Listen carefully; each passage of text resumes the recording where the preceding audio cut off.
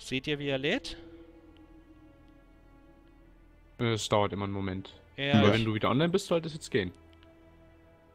Das Problem ist, dass ich tatsächlich von UBS nicht so, also wenn ich jetzt im Spiel bin, nicht so zuverlässig dargestellt bekomme, dass das wieder läuft.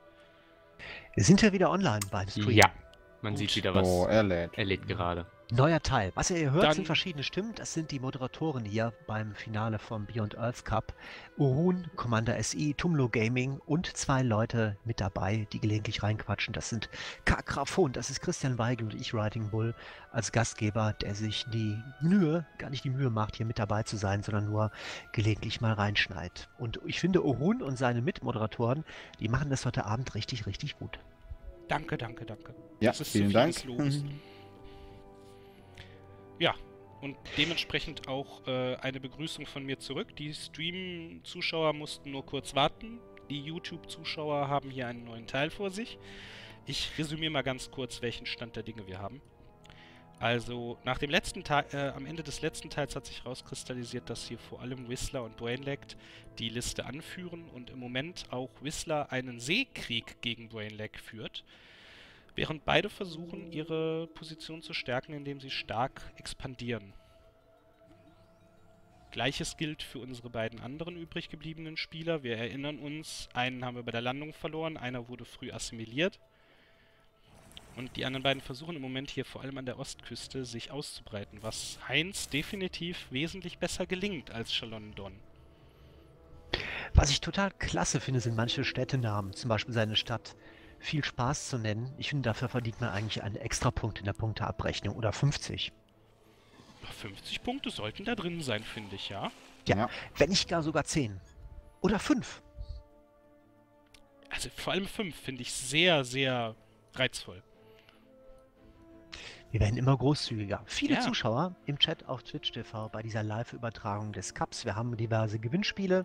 Die laufen schon, einiges ist rübergegangen. Und ich habe doch eben glatt, fällt mir gerade ein, etwas vergessen zu sagen. Ich hatte einen Steam Key von Grand Ages Medieval verlost und habe ganz vergessen zu erwähnen, dass ich noch zwei habe. Also, Wo kommen denn die auf jetzt einmal aber- her? ich wollte gerade meinen, das ist jetzt aber sehr interessant. Wo die jetzt Das ist sehr herkommen. interessant. Und jetzt würde ich gerne in die Gesichter der Zuschauer blicken, die gerade angefangen haben zu grinsen, jetzt gleich nach den nächsten Wochen wieder ganz enttäuscht aus der Wäsche gucken werden. Denn, Ich habe die zwar, aber ich gebe die jetzt nicht raus. Das sind zwei weitere gratis Steam Keys für Grand Ages Medieval, was am 25. September erscheinen wird und die werde ich euch rausgeben. Die werdet ihr bekommen, aber nicht heute Abend. Die werde ich in den nächsten Tagen rausgeben in unserem Forum commun community.writingbull.de. Dort werde ich einen Thread einrichten. Zu Grand Ages Medieval gibt es schon einen, aber ich werde speziell einen zu diesem Gewinnspiel machen und ähm, es ist dann eigentlich ganz simpel. Wer dort postet, in diesem Thread, der kommt in den Topf, in den Lostopf. Und dann werde ich zum Release des Spieles oder kurz davor zwei dieser Steam Keys verlosen. Einzelheiten dazu erfahrt ihr in Kürze im Forum. Wenn ich diesen Thread aufmache, dann werde ich das noch genauer schreiben, bis wann das gilt. Und äh, dann habt ihr die Möglichkeit, diese Keys zu gewinnen. Das heißt, diejenigen, die eben bei der Verlosung Pech hatten, die haben möglicherweise Glück, sobald dieser Thread rauskommt. Den Ja, Sponsor, das ist doch den auch ich- was. den Sponsor muss ich noch erwähnen. Games Planet, riesen Dankeschön. Shop-Händler, mit dem ich zusammenarbeite. Und ähm, ihr kennt ja schon meinen Standardhinweis, den ich immer sage. Falls ihr bei Gelegenheit den YouTube-Kanal, das Forum, solche Livestreams oder was auch immer ein bisschen unterstützen wollt und euch ohnehin ein Spiel kauft, kann ja mal sein, dass ihr nicht immer jedes Spiel bei einer dieser Verlosungsaktionen gratis bekommt. Dann wären wir euch alle sehr dankbar, wenn ihr ein solches Spiel vielleicht dort kauft oder bei einem anderen Shop-Link bei Amazon, aber sehr gerne bei Games Planet, die oft auch Spiele preiswerter anbieten, denn dann geht, gehen ein paar Prozentpunkte des Kaufpreises rüber zu mir und damit kann ich all diese schönen Sachen hier besser organisieren, an denen ihr hier auch teilnehmt. Grand Ages Medieval. In Kürze zwei Steam Keys im Community Forum. Und jetzt weiter mit Civilization Beyond Earth. ja, an der Lage selbst ändert sich in der letzten Zeit auch nicht mehr viel. Wie gesagt, wir haben hier Mhm. Heinz, der hat ja eben schon verkündet, dass ähm, er seine Expansion fortführen wird. Und das sollte ihm dabei jemand sich in den Weg stellen, frecherweise, dass derjenige dann auch äh, unter ihm zu leiden haben wird. Ja. Ansonsten haben wir hier Shalom Don, unseren Alien Fighter, der sich tapfer dieser Alien-Horde hier zur Wehr setzt. Vermutlich es sind zwei Nester, könnte ich mir gut vorstellen. Ich würde sogar Wenn nicht fast sogar auf- drei. Ich wollte meinen, ich würde sogar fast auf drei schätzen, weil es wäre genug Material dafür da. Obwohl ich tatsächlich auf zwei tippen muss. Aber das ist, äh, das, hat, das Problem hatte er ja gleich von Beginn an. Das hat er aber irgendwie halt bis jetzt noch nicht gelöst bekommen. Ich glaube, das ist auch gar nicht so einfach, so eine große Alienmenge zu kontrollieren. Was uns aber definitiv recht in der Sache gibt, dass wir nicht mit tobenden Aliens gespielt haben, weil sonst hätten wir schon Mhm. Vermutlich inzwischen an die Aliens verloren. Dann hätten die den schon gesnackt. Aber nun baut Brainlect auch wieder eine größere Flotte auf. Ja, das Problem ist, äh, Whistler traut sich vermutlich nicht nah genug an ihn ran, um das aufzuhalten. Also ich bin etwas überrascht, dass er das zulässt, wobei es sein kann, wenn ich das hier so richtig sehe, dass er sich gar nicht darüber im Klaren ist, weil die Schiffe tatsächlich ganz bewusst von beiden immer so gehalten werden, dass der Gegner sie möglichst nicht alle sehen kann. Immer wie so eine Art Drohung. Deswegen bin ich echt gespannt, ob dieser Seekrieg noch so richtig eskalieren wird oder ob es bei diesem immer wieder gegenseitig aufreiben und abtasten bleibt. Da jetzt geht's schon wieder hier mit Abtasten und allem los. Ich bin Also ich- echt, äh, Ich fand, ich fand auch, das ist eigentlich ein Moment, wo man alle kleinen Kinder mal ganz schnell ins Bett schicken sollte. Weil äh, das ist echtes Ü, Ü18-Gerede hier. Unfassbar. das heißt also, Also, die äh, veranstalten da mit ihrer Flotte gerade eine so eine Art Vorspiel. Ja, Ja. definitiv. Also Es geht los. Ich würde mir da auch am liebsten ein, ein Handtuch um den Mund äh, wickeln, weil ich irgendwie, da, da bricht mein natürliches Schamgefühl aus mir raus. Und auch bei dir, Christian, glaube ich, dir treibt das, glaube ich, auch die Schamesröte auf die Bäckchen. Äh, also auf die im Gesicht, ne? Ja, genau. Die anderen, die sind so blass und schlaff, da, da errötet nichts mehr. Auch das treibt mir wiederum die Röte ins Gesicht. Was für ein Niveau hier. Unfassbar tief. Die anderen halten das so hoch. Wir Mhm. jagen das wieder in die Tiefe. Ich glaube, wir sollten uns verabschieden. Wir sollten Ja. später nochmal reingucken. Was meinst du? Alles klar. Das heißt, äh, du entfernst mich jetzt hier äh, aus dem Kanal, um mir den Mund mit Seife auszuwaschen. Na super. Ich Wir entferne sehen- dich jetzt und ich halte mich bedeckt. Und, Wir sehen äh, uns gleich auf der Damentoilette. Alles klar. Genau, auf der, genau, da werden wir uns dann, dann treffen. Äh, Mhm. ich wünsche euch allen noch viel Spaß und bis, bis später dann. Macht's Bis gut. später. Äh, bevor er verschwindet, noch einen Ja. Moment. General Feierabend hat es gerade sehr passend im Chat geschrieben. Es ist nach 22 Uhr. Alles in Ordnung. Ihr bringt Ja, mich auf. Ideen. 18 plus machen. Jetzt gib ihm nicht auch noch eine Freikarte. Ja, echt jetzt. Ich habe nur den Chat zitiert. Ja, erfülle nur meine Aufgabe. Also, ich bin jetzt erstmal weg ich, und äh, bis später dann. Bis dann. Bis später. Tschüss. Tschüss. Ich sehe es schon kommen, Tumdu. Du erfüllst nur deine Aufgabe, ja? Also an die Zuschauer da draußen, äh, ihr müsst es nur sagen, ich kann ihn auch äh, etwas züchtigen dafür, dass er sich hier so auf die andere Seite schlägt. So, während WB jetzt... Äh, kurze Frage, also nur mal um das zu erklären. Du willst mich da, du willst, dass die Zuschauer mich züchtigen lassen dafür, dass ich ihr Sprachrohr bin. Äh, dafür, dass du, dass du WB jetzt hier auch noch Feuer Ach gibst. so, okay, na, na, gut, ich war nur eine Du sollst, nein, also ich betone folgendes, die Zuschauer sagen das, Danke, Langhaar. Er sagt, ich sollte belohnt werden. ich wusste es. Anstand Ich habe den Chat auf verboten. meiner Seite. Ja, ich sehe das schon. Dann mache ich mich besser nicht unbeliebt und, naja, seien wir mal ganz ehrlich, ich finde es ja auch lustig. Und während WB jetzt Christian mal ordentlich den Mund mit Seife auswäscht, oder was auch immer, Na, darauf wollen wir nicht näher eingehen. richtig, möchte ich ganz kurz mal festhalten, dass äh, Brainlect die Situation, dass er da im mittleren Meerarm doch äh, auch äh, die Lage etwas besser unter Kontrolle hat, als ich zu diesem Zeitpunkt erwartet hätte, nutzt, Ja. um jetzt ein bisschen Militär aufzufahren, um hier den brachliegenden Panasiaten ein bisschen auf den Pelz zu rücken, von Norden her. Und vielleicht sogar die eine oder andere Stadt von ihnen einzunehmen, was ihm eindeutig äh, seine derzeitigen leichten Vorsprung noch ausbauen würde. Ich habe allerdings so eine Ahnung, wenn Whistler weiterhin so ernst macht mit dem Krieg, dann wird das hier tatsächlich ein Mehrfrontenkrieg, weil was ich im Moment sehe ist, wir haben hier im Osten einen Landkrieg, wir haben auf dem Wasser einen Krieg und äh, jetzt will äh, Brainlect auch noch hier gegen den Asiatenkrieg führen. Also ich bin mal gespannt, wie sich das äh, noch weiterentwickeln wird. Währenddessen hat hier Heinz eher ideale Voraussetzungen dafür, in aller Ruhe sein Ding weiterzumachen. Denn Shalom Don kommt kaum dazu, hier groß zu expandieren, sondern versucht eher das Land, das ihm sowieso schon gehört, besser zu nutzen. Äh, Wo du ihn gerade erwähnst, wie wäre es mit einem kleinen Interview? Der Chat fragt doch schon die ganze Zeit. Das habe ich mir auch Das wäre gedacht. jetzt tatsächlich ideal, ja. Ja gut, dann bis gleich. Ich werde ihn mal holen. Werden wir jetzt gleich auch mal Shalom Don nach seiner eher misslichen Lage fragen. Und wie er sich so fühlt, nachdem zwei seiner Kon äh, Kontrahenten oder Mitsiedler schon ins Gras gebissen haben. So, und damit sind wir auch schon wieder da. Hallo Shalom Don. Hallo. Schönen guten Abend. Hi. Und ja, äh, mal so ganz offen gefragt, wie bewertest du deine Lage? Äh, ja, die ist, ähm, also ich setze jetzt zum Überholen an und, nein, Scherz. Ich hatte die Problematik, dass ich ja relativ viele Alien-Nester und schon eine gute Population auf meiner Westseite hatte. Und äh, nach Osten war nicht so viel mit Entwicklung, deswegen bin ich jetzt so ein bisschen von einem guten Heinz eingekesselt. Aber ich denke, da geht noch was. Ja?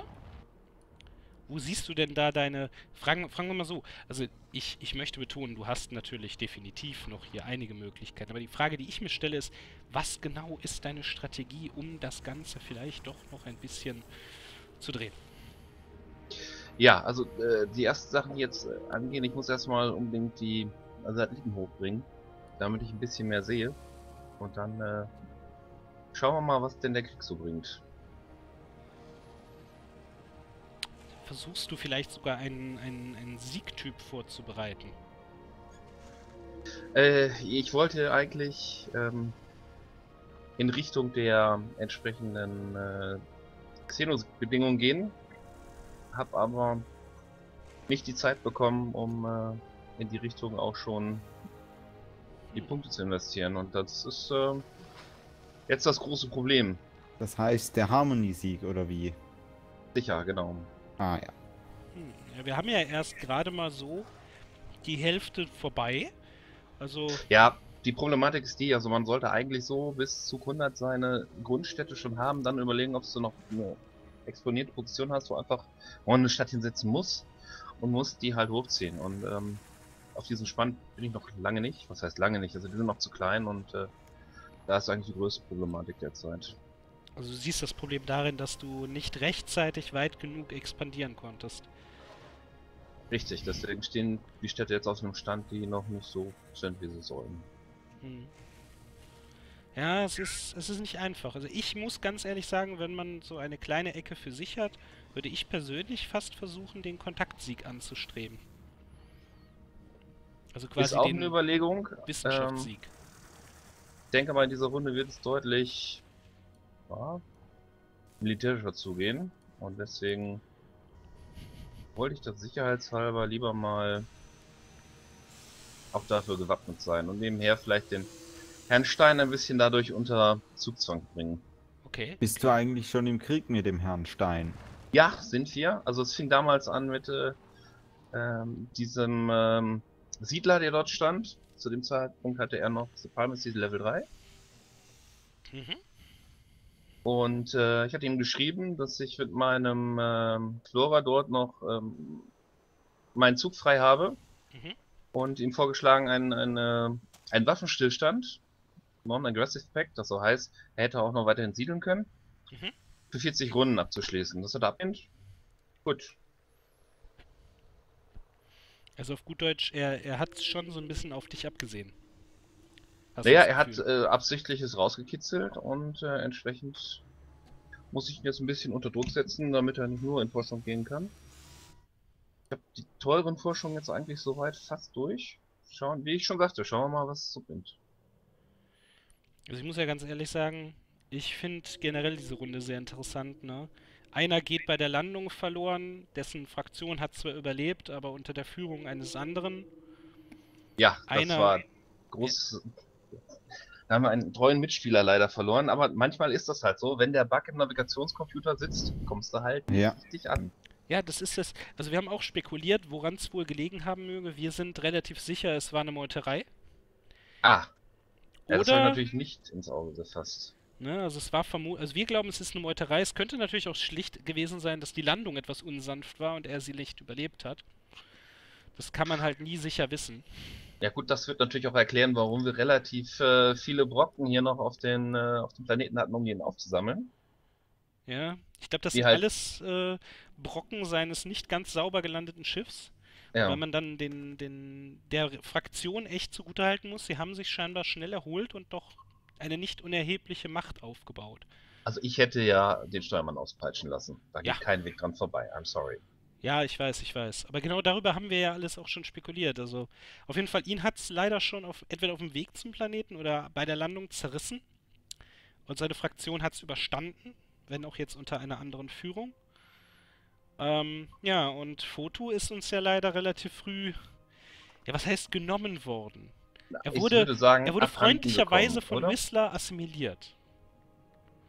Ja gut, die, die beiden haben ja jetzt auch nicht unbedingt sehr ähm, freundschaftlich gestartet.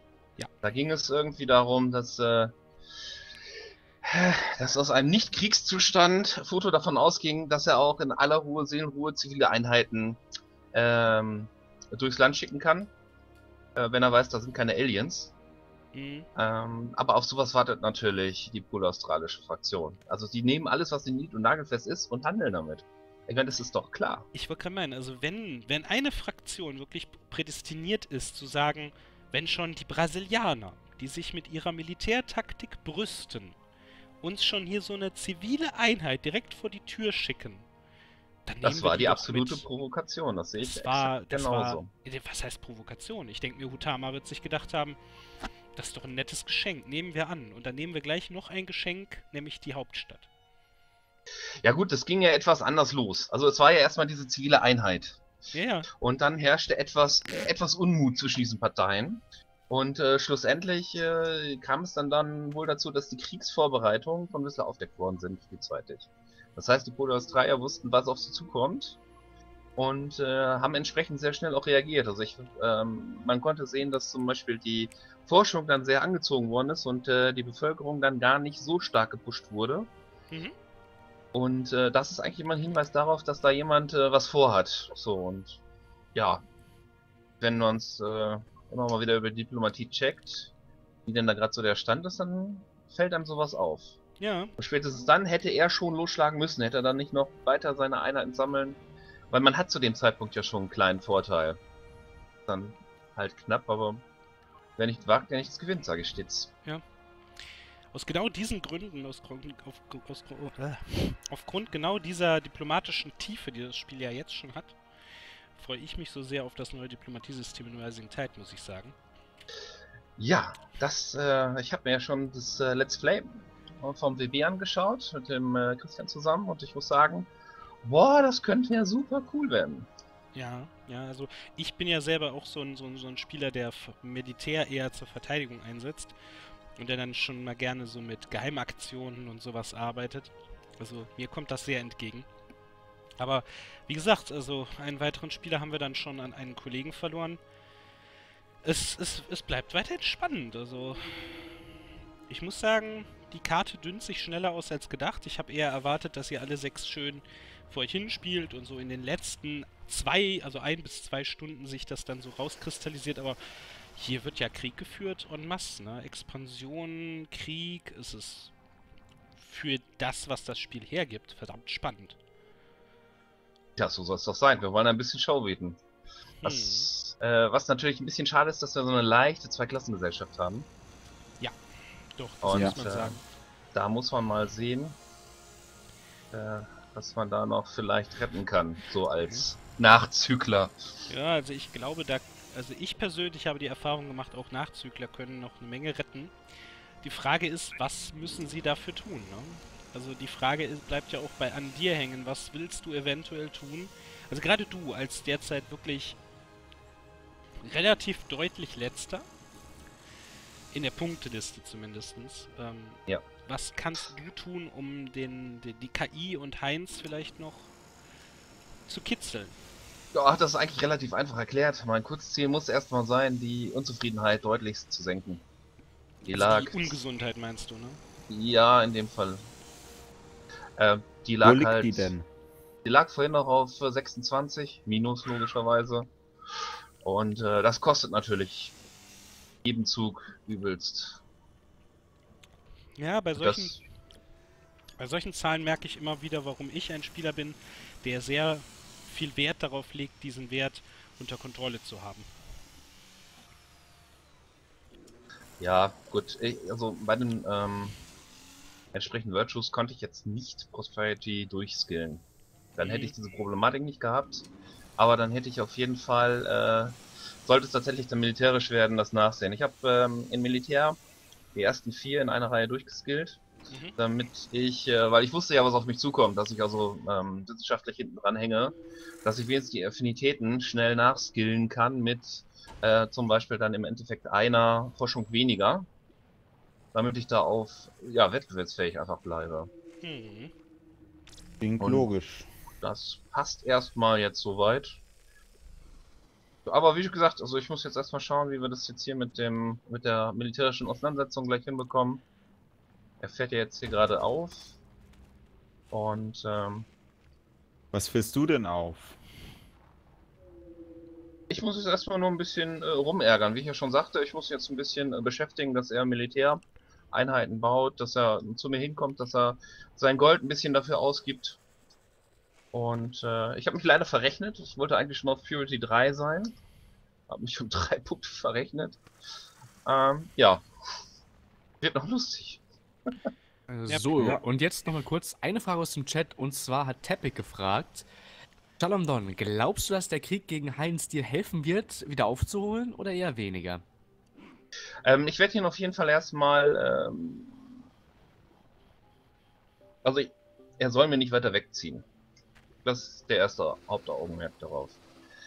Ich muss unten meine Hauptstadt ein bisschen produktiver kriegen. Wie gesagt, das höchste Problem ist ja doch die Unzufriedenheit, also die Unhealthiness, die halt ziemlich viel auch ähm, einfach an Kultur, Wissenschaft und äh, vor allem auch Wachstum in der Stadt behindert. Mhm. Und äh, Ziel ist es eigentlich, dass ich halt dann äh, Einheiten spammen kann und ihn dann nochmal angreifen. Wenn es dann klappt und ich die Stadt übernehmen kann, dann wäre ich wieder im Geschäft. Wenn nicht, werden wir uns entweder eliminieren bis zum Ende des Spiels, dann haben wir beide keine Chance mehr. Oder aber er hat äh, Wissenschaftsvorsprung und macht mich dann platt. Wie gesagt, ich sehe es gleich, wenn meine Satelliten online sind und dann weiß ich auch, was ich weiter zu tun habe. Ja, dann würde ich sagen, entlassen wir dich mal wieder nach unten und lassen dich mal deiner Strategie nachgehen, während wir das hier schön aus der Vogelperspektive oder eigentlich wahrscheinlich eher Ja. aus dem Orbit beobachten.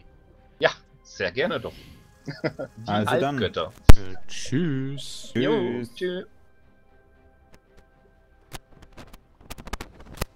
So. Ganz kurz mal abgehüstelt. So. So. Und ich. Ich muss sagen, also, also, ähm, ich versuche umzusetzen, dass wir hier ähm, mehr Details sehen. Äh, Ich entschuldige mich direkt im Voraus dafür, wenn es nicht ganz so klappt wie gedacht. Ich persönlich muss sagen, ich würde zu gern auch mal als Streamer auftreten, wenn ich selber auch eine Fraktion spiele, weil dann brauche ich mir nicht viele Gedanken darüber zu machen, was ich mir angucke oder was nicht, weil sich das dann im Spiel von selbst ergibt, ne? Außerdem So. hat man eben nicht das Problem mit dem doch recht äh, schwierigen Beobachtermodus, sage ich mal, Ja. wo halt einige Details einfach fehlen. Borun. Ja. Und äh, der andere Herr, ähm, Tumlu, Tumlo, Tumlo, genau. der andere Herr. Also wir sind jetzt schon zwei Stunden unter uns. Ne? Ja, das ist mein Namensgedächtnis. Es fängt jetzt auch schon an, auf dem Land zu krachen hier zwischen Brainlect und Whistler. Genau gesagt bei den Städten Snitswe und Maeva. Ich denke mir, das spricht sich Siswe. Snitswe? Okay. Auch zum Beispiel ein Stadtname, den ich bisher nur zwei, dreimal gesehen habe. Ja. Wobei Brainlect schon die nächsten Kolonisten aufhört. weiter östlich dieser Stadt. Ja, man muss ganz ehrlich sagen, ich, mich würde zu sehr interessieren, wie weit die beiden sind, was so Werte wie Ungesundheit angeht.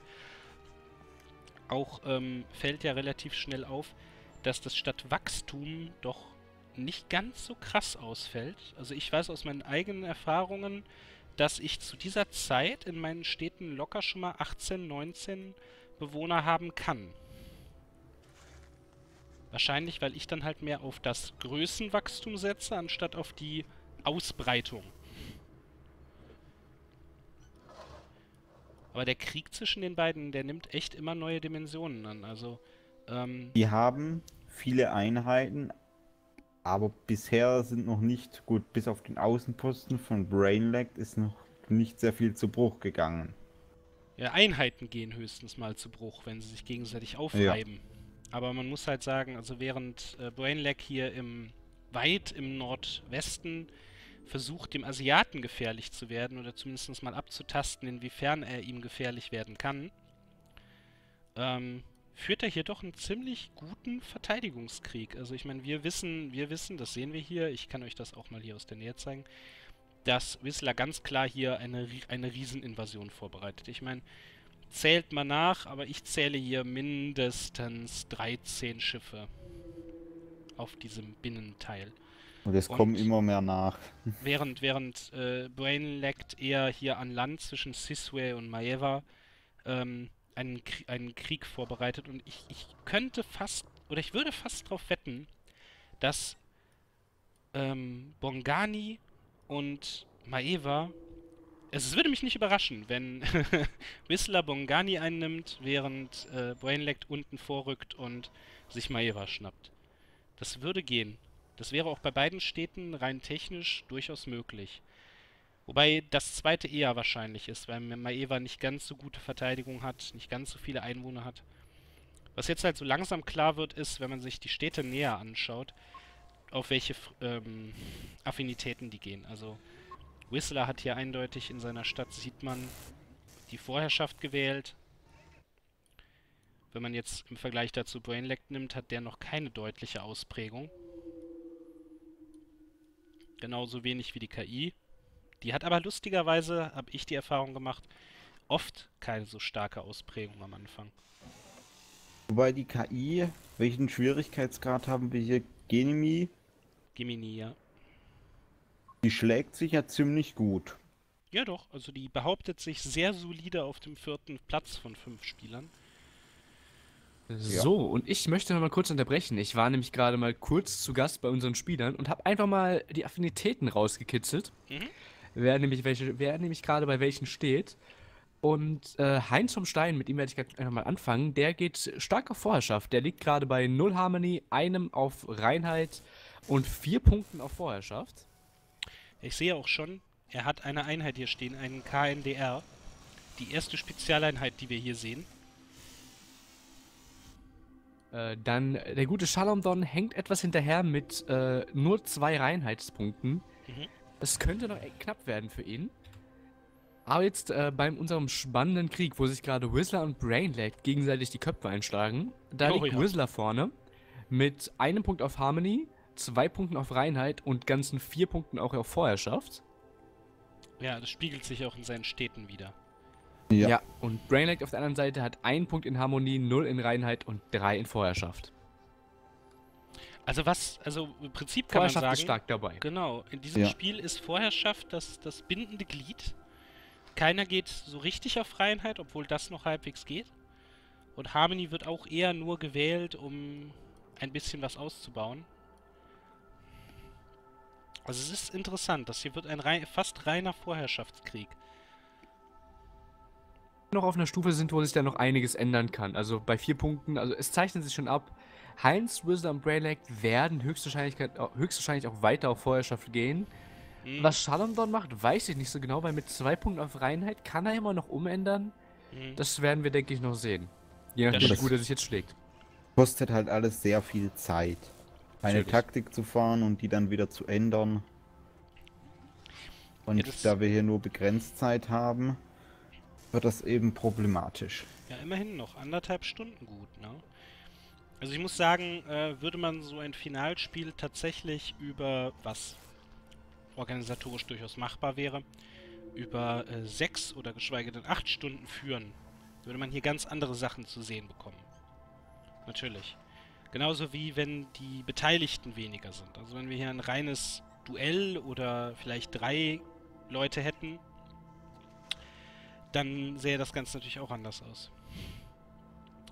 Was jetzt aber auffällt, ist, ähm, Heinz nutzt die Gelegenheit, dass er so hoch in Vorherrschaft steht, auch jetzt früh aus. Also er hat hier, ich sehe hier zwei KNDRs vorrücken an die Front. Ich glaube, er wird jetzt versuchen, den Krieg zu äh, Shalomdon zu tragen und das könnte schnell dazu führen, dass das Punkteverhältnis kippt zwischen den beiden. Als Shalomdon seine Position tatsächlich äh, ja, zu spüren bekommen wird. Also das Ganze könnte noch recht Mhm. spannend werden. Ja. Ich sehe das Ganze ja genauso verzögert wie der Chat, muss man dazu sagen, weil ich nicht mit im Game bin.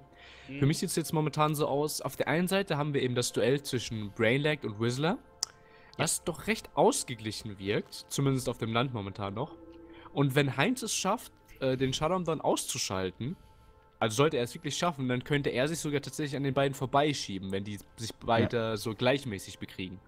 Also von den Fähigkeiten her ist er durchaus dazu in der Lage, wie ich miterlebt habe.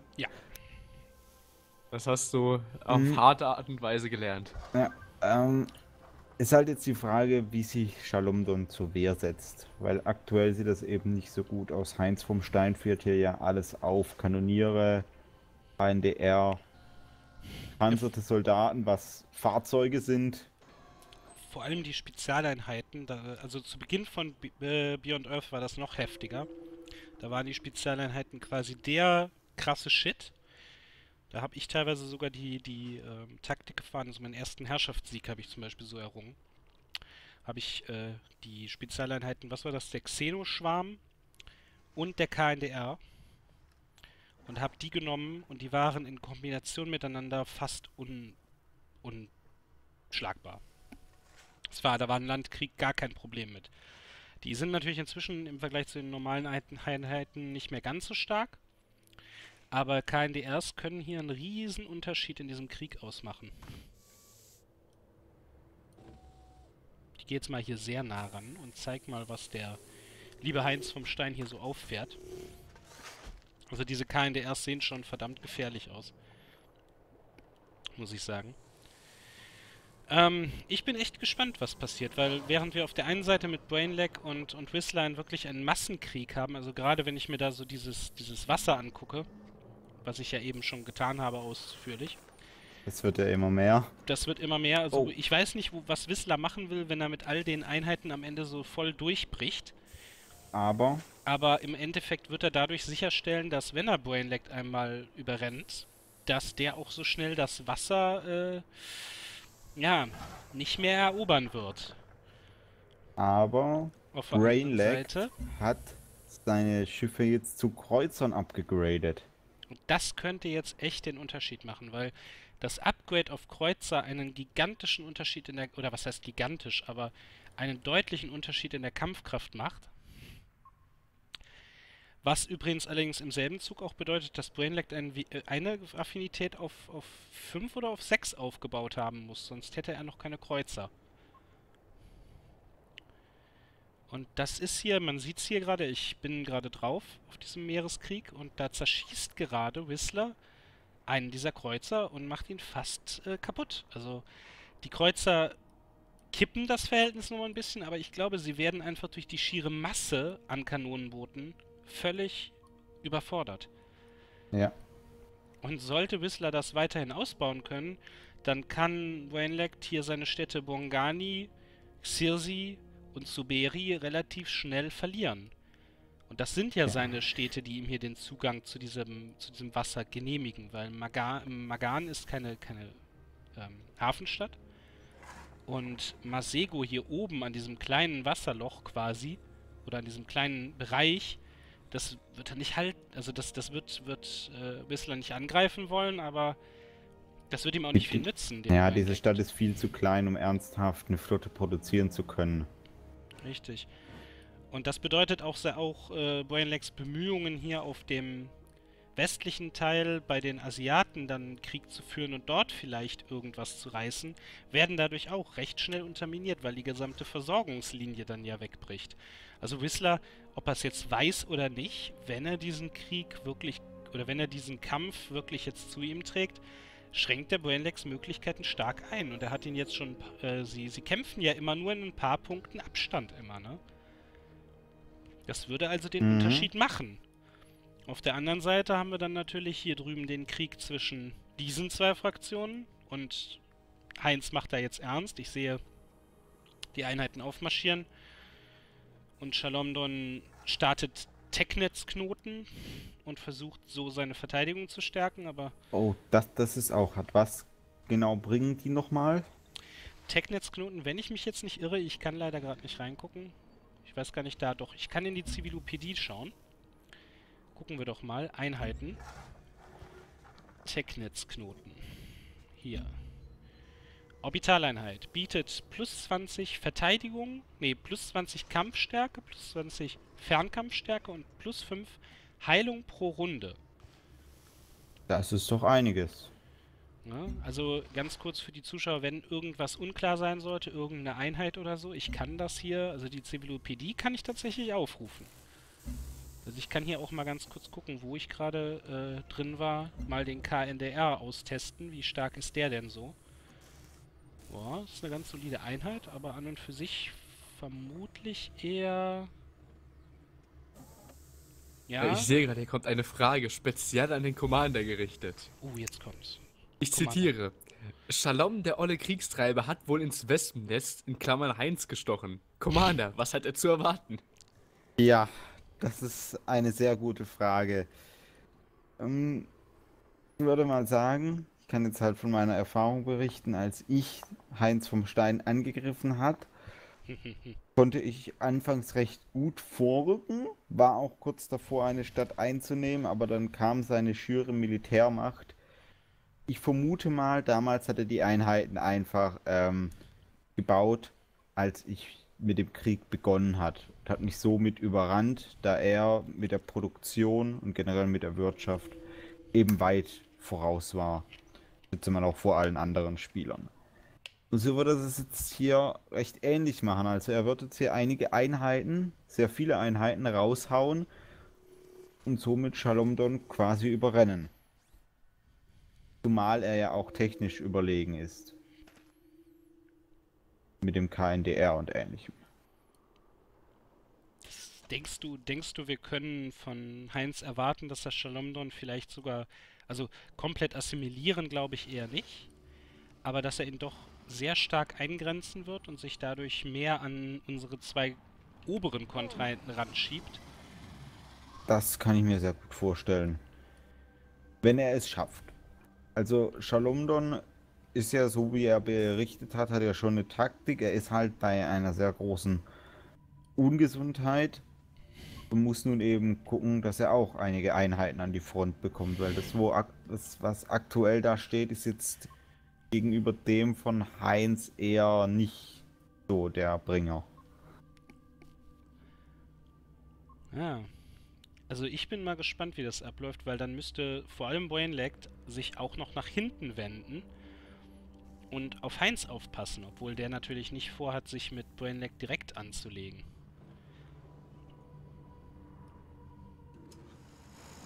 Also ich bin mal gespannt, die ganzen Sachen. Also im Moment entfaltet sich das halt alles noch relativ langsam.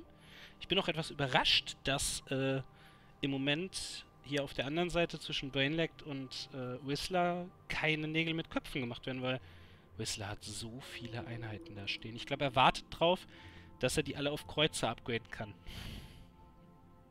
Und drückt dann in einer geschlossenen Formation wahrscheinlich vor. Sagt, dass er doch ein bisschen kassiert hat von den feindlichen Kreuzern. Ja, aber wenn ich mir die schiere Masse angucke, also sobald das Kreuzer werden, Dann, dann, zieht richtig hier, los. dann zieht der hier ab. Dann zieht der hier durch und zumindest dieser Meereskrieg wird dann, glaube ich, relativ klar werden. Es wird wahrscheinlich ähnlich laufen, wie wir es schon bei der Assimilation von Foto gesehen haben. Es werden viele Einheiten dabei draufgehen. Aber schlussendlich sehe ich zumindest äh, Bongani gefährdet. Und vielleicht halt, wie gesagt, auch Xirsi und Subiri. Suberi oder wie auch immer. Also ich bin mal gespannt. Das ganze Gleichgewicht ist filigran, wäre übertrieben, aber nicht allzu stabil. Und Heinz, ja, ich bin mal gespannt, wie er sich schlägt. Ich bin fast dafür, also das müssen wir natürlich jetzt noch nicht machen, aber ich bin fast dafür, wir können ja mal die, die Frage in den Chat stellen, ob man sich vielleicht nochmal Brainlect oder Whistler ranholt und die mal zur aktuellen Lage befragt, weil das waren ja eher die, die wir... Also Whistler war einer der ersten, die wir angesprochen haben in Bezug auf Foto. Äh, Whistler wurde tatsächlich gerade sogar schon gefordert, zwar von Greymane. Ich kann ihn gerne mal reinholen. Ja, das wäre, glaube ich, jetzt gerade sehr interessant.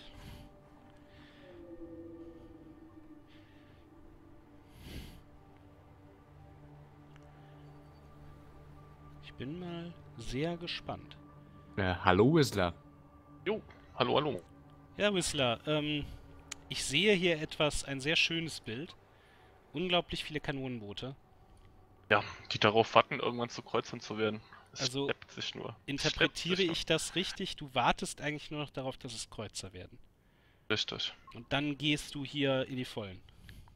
Genau das ist der Plan. Ich hoffe, dass ich damit dann durchkomme, weil die Tech-Jets zum Beispiel sind auch nicht zu unterschätzen, was ihre Abwehrkraft gegen, gegen Schiffe angeht. Deswegen habe ich noch zwei Aircraft Carrier nachgeschossen, in der Hoffnung, dass äh, die da noch ein bisschen abfangen können. Aber ich werde auf jeden Fall, also ich brauche jetzt noch eine Runde für Cognition, dann noch sieben für Collaborative Fort. Also das heißt, es sind noch acht Runden für Affinity Level 6, was mir dann Needle Jets, also die upgradete Version von den Tech Jets bringt und den Cruiser. Ich werde jetzt aber einen Großteil meiner Städte auf Forschungsfokus stellen, ähm, um das ein bisschen schneller zu erzwingen. Und wie siehst du, also das, ich meine, da muss ich ganz ehrlich sagen, wenn du das mit den Kreuzern hinbekommst und mit den, mit den Flugzeugträgern, dann sieht, sieht es doch nach einer sehr großen Macht aus. Was hast du denn dann vor, wenn du die auf, wenn die abgegradet sind? Welche Städte, was ist dein Ziel? Ja, seine Wasser steht auf jeden Fall. Bongani und Xirsi sind natürlich am schwersten verteidigt. Ähm, so ist aber auch die einzigen, na doch oben, Suberi noch, ist ja auch noch zugänglich für mich. Ähm, die würde ich schon auf jeden Fall einnehmen. Ähm, und ich würde sie niederbrennen, einfach um die Punkte nicht zu gönnen. Also du würdest die gar nicht übernehmen. Nee, ich würde sie tatsächlich niederbrennen, ja. Okay. Okay. Ich Ja, habe gerade noch im Chat gesehen, passend zu der Riesenmenge an Schiffen, die du stehen hast, das könnte man wohl auch eine Zergtaktik nennen. Das ist tatsächlich. Ähm, ich hoffe ja auch noch so, oder habe sehr drauf gehofft, ähm, es gibt da eine Quest, die heißt Written in Stone, also in Stein gemeißelt oder sowas, und die gibt Mhm. auch einen Überlegenheitspunkt. und ich hoffe ja, dass die irgendwann mal bei mir auftaucht. So viel Glück hatte ich bisher aber leider noch nicht. Also im Prinzip, ich warte wirklich nur auf die nächste Affinity-Stufe, um loslegen zu können. Und ich hatte schon Glück, dass er sich da jetzt auch ein bisschen überschätzt mit seinen Kreuzern, dass ich die schon zum großen Teil aus dem Weg kriegen kann. Also ich sehe jetzt noch drei von, nee, vier von ihm. Ähm, ja, das ist jetzt keine allzu große Macht.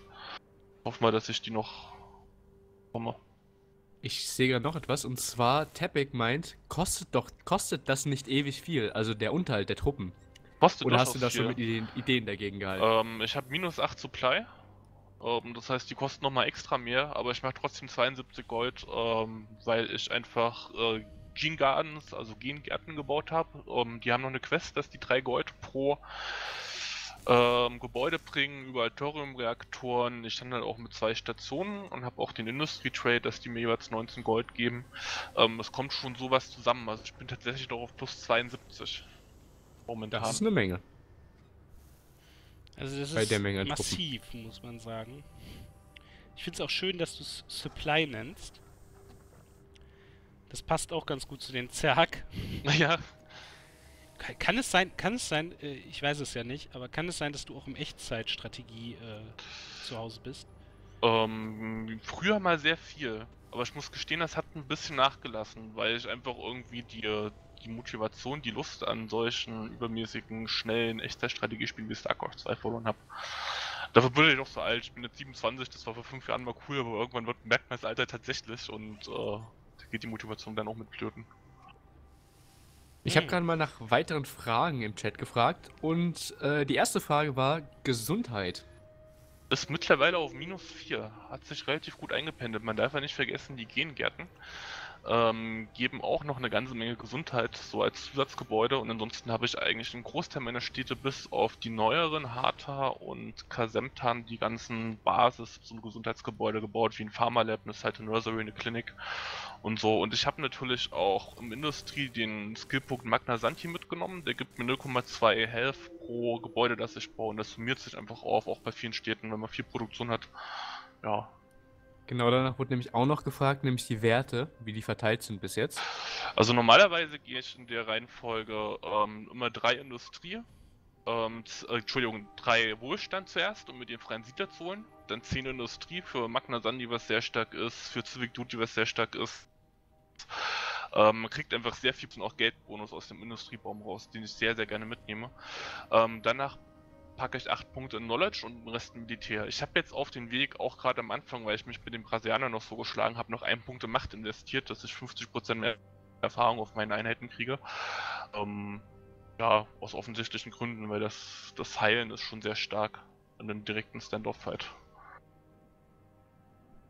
Hm. Klingt ja echt spannend, muss ich sagen. Und wie bewertest du hier die Landsituation? Ich meine hier ne, zwischen Maeva und Siswe. Zwischen Maeva und Siswa. Ach so. Oh, er ist ja schon auf 6, sehe ich gerade. Ähm, wie bewerte ich die? Äh, Ja, ich werde ihm landmäßig nicht so viel machen können, ihr mir wahrscheinlich auch nicht, weil Maeva liegt sehr. Oder hat er schon eine Menge Truppen zusammengezogen. Aber ich habe ja auch ein bisschen Landmilitär da. Da muss ich schon aufpassen, dass er mich da von Land aus nicht angreift überrollt. Und im Spiel sind Verteidigungsgebäude sehr stark und Maeva hat eine Raketenbatterie und einen Defensive Perimeter. Ähm, das heißt, die Stadt hat durch 50 Kampfstärke und 165 Hitpoints. Das ist relativ schwierig, gerade mit dem Gelände das zu übermannen, sage ich jetzt mal. Es ist machbar, muss ich durchaus ein Auge drauf haben, ähm, aber es ist schwierig. Ich glaube, sobald ich meine 6 Affinität habe, werde ich mir vorher noch mal ein bis zwei Marines gönnen und ähm, die dann zur Verteidigung da abstellen. Einfach sicher ist. Es wird auf jeden Fall nicht unspannend bleiben. Ja, ich denke auch, also wir liegen wirklich nah beieinander und auch so was Forschung, ich meine, ihr seht das ja gar nicht im Zuschauerstream, aber auch was unsere Forschungspunkte angeht, sind mir sehr nah. Ich bin bei 182 jetzt, weil ich sehr viel auf Forschungsfokus gestellt habe. Normalerweise ist es um die 140, also auf 138 Forschung. Wir sind ja nah beieinander, wir haben auch, glaube ich, dieselbe Anzahl an Städten, das heißt somit auch ähm, dieselben Malis auf die Mhm. Forschung. Also wir nehmen uns da nichts. Hm. Ja, wie gesagt, also ich bin mal gespannt, weil es, wir haben ja doch noch eine ganze Weile vor uns, also etwas mehr als eine Stunde. Es könnte interessant werden, was sich da noch vor uns entfaltet.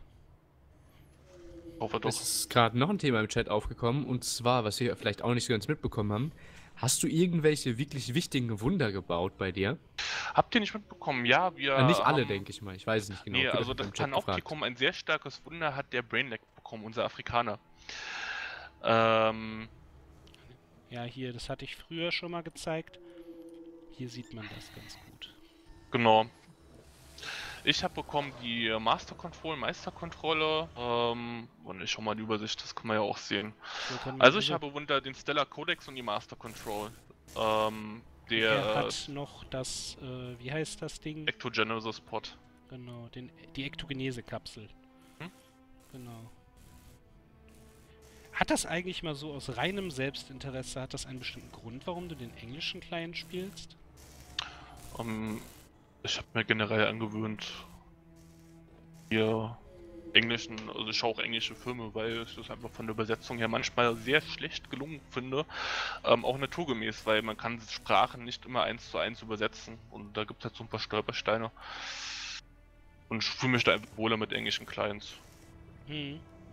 So, ich schaue mir gerade hier die Satelliten an.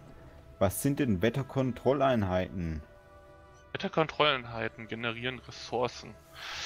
Und zwar, ähm, die bringen uns mal ein, ein Fressen, also ein unter den Feldern, wo sie liegen, was natürlich sehr stark ist und sie generieren über ihren Zeitraum ein bis zwei normale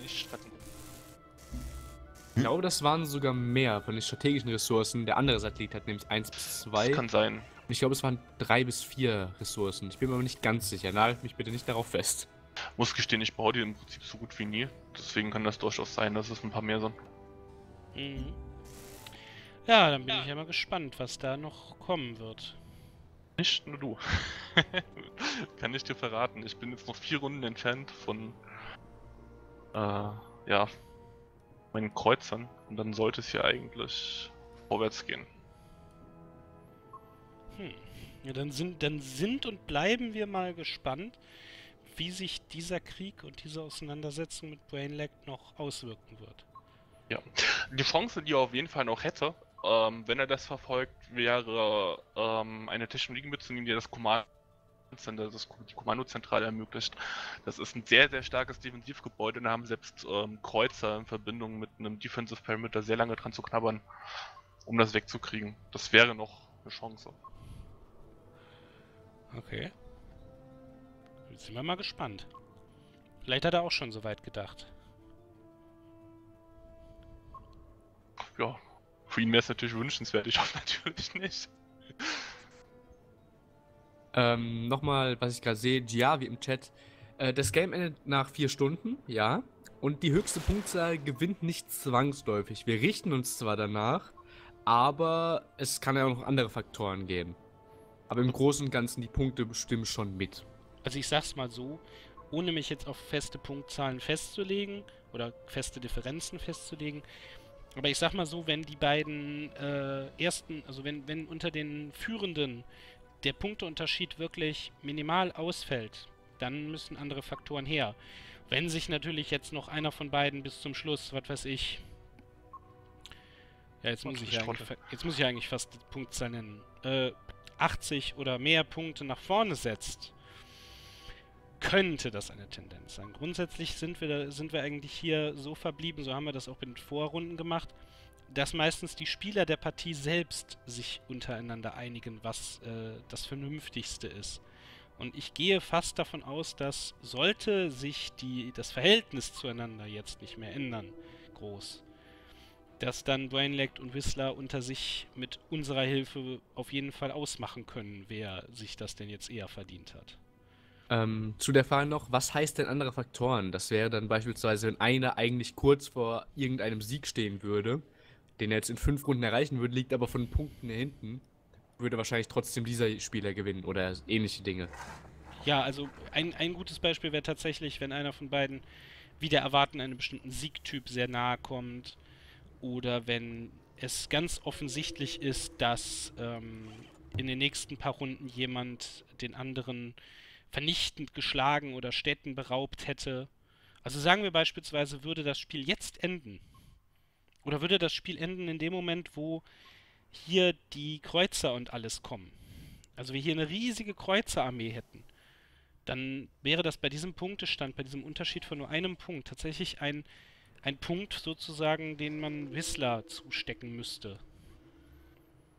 Das würde man, wie Gut. gesagt, mit, mit Brainlag zusammen erörtern. Da werden dann auch wirklich, da werden die, also meiner Meinung nach spielen da die Affinitäten eine Rolle, die Wunder eine Rolle, die militärische Stärke eine Rolle. Im Zweifelsfall sogar die Menge an Städten und die Gesamtbevölkerung und so weiter. Also, weil insgesamt soll das Spiel ja schon widerspiegeln, ähm, wie erfolgreich ist jemand. Ja. So, nun kracht es hier aber ordentlich. Und zwar zwischen Shalomdon und Heinz vom Stein. Ja, da habe ich jetzt meinen Blick nicht hingerichtet gehabt, aber ich werde das jetzt mal ändern. Oh ja, oh ja. Da ist äh, was im Gange. Äh, dann würde ich aber an der Stelle auch sagen, wir verabschieden uns Genau. nochmal von Whistler. Richtig, da verabschieden wir uns jetzt mal von Whistler Alles klar? und Okay. wünschen dir noch viel viel, Spaß noch. Erfolg. Dankeschön. Werde ich brauchen. Äh, tschüss. Tschüss. Jo, Tschüss. tschüss. Ja, hier entfaltet sich tatsächlich gerade ein, ein, ein Kampf. Ein nicht zu unterschätzender Kampf auch. So. Nun ist die Frage, wir haben noch etwas über eine Stunde. Ja, Das zweite Gewinnspiel. richtig. Die, f- äh, wobei ich da fast vorschlagen würde. Wir warten noch einen Moment, weil es gerade sehr Erstens- spannend wird. Genau, erstens warten Ah, wir jetzt okay. einen Moment, was mit Einser passiert. Und zweitens, wenn wir diesen Moment warten, würde ich auch nach diesem Moment tatsächlich einen Stream-Neustart machen. Und dann nach dem Stream-Neustart direkt mit dem zweiten Gewinnspiel um die Ecke kommen, das wir dann durchführen können. Und da ist jetzt halt nur die Frage, werden wir in Einser jetzt noch was sehen? Also ich werde jetzt mal mein, ich werde jetzt mal mich bemühen, hier die Finger still zu halten und auf Einser zu bleiben, weil sich dort ja jetzt was abspielt. Also ich weiß nicht, was eure Ein also gut, du siehst es ja nur mit Verzögerung, Tumlu, aber Commander, du siehst es ja in Echt, e Echtzeit wie ich. Was schätzt du denn? Glaubst du, da wird gleich was fallen? Schwer zu sagen. Also, ähm, der Heinz steht ja gut da. Hm? Im Gegensatz, äh, der Schalumdon ebenfalls auch. War jetzt doppelt gemoppelt, aber ihr wisst, was ich meine. Das heißt, Shalom kann sich hier ganz gut verteidigen. Aber wenn Heinz halt äh, die Stadt jetzt noch einmal bombardiert und dann mit dem KNDR reinrennt, dann ist sie halt weg. Es wird viel davon abhängen, wie klug sich Shalom jetzt verteidigt. Und ob ihm der Tech-Netzknoten über seiner Stadt den entscheidenden Bonus geben wird. Ich schätze halt, so wenn ich mir so die Einheiten von Shalom anschaue, seine, seine Kampffahrzeuge sind noch auf Stufe 1, seine Ranger sind noch auf Stufe 1, seine Kanonenboote sind noch auf Stufe 1, auch die, die, die Artillerie ist noch auf Stufe 1, das sind noch Raketenfahrzeuge. Das kann äh, hier unser Heinz alles über, überwältigen. Also Marines hat er auf Stufe 2, die Artillerie hat er, er hat die, die gepanzerten Fahrzeuge jetzt, also die richtigen Kampffahrzeuge in Anführungszeichen, nicht nur die Buggies. Und halt KNDRs. Und KNDRs sind als, als Spezialeinheit echt nicht zu unterschätzen. Also, er reibt jetzt auch die Stadt auf und da hat er sie. Und er macht eine Marionette daraus. Also er, er übernimmt sie nicht selbst, sozusagen, so wie es bei äh, Citadel und Whistler war, sondern er macht eine Marionette daraus, die sich selbst verwaltet. Oh, da hat es jetzt den Rückwärtsgang gegeben. Die Stadt wurde zurückerobert. Das heißt, Heinz hat die sich geholt und dann wurde direkt wieder zurückgesetzt. Das ist jetzt halt der, der in Anführungszeichen, der, der Vorteil von, oder Nachteil, je nachdem von welcher Seite man es betrachtet, von äh, simultanen Zügen. Dass Heinz hingeht und die Stadt erobert und hm. Shalomdon nur darauf gewartet hat, dass er das tut, um die Stadt dann wieder zu erobern. Ja. Die Frage ist jetzt, sollen, also ich würde jetzt vorschlagen, wir machen einen kurzen Neustart und hoffen Alles dann klar. in der Zwischenzeit, dass uns das nicht verloren geht, mit anzusehen, was mit dieser Stadt wird. Dann sage ich mal für die YouTube-Zuschauer bis zum nächsten Part. Ja, bis und zum für nächsten die Part. Stream-Zuschauer Äh, bis dann. uns gleich. Ja.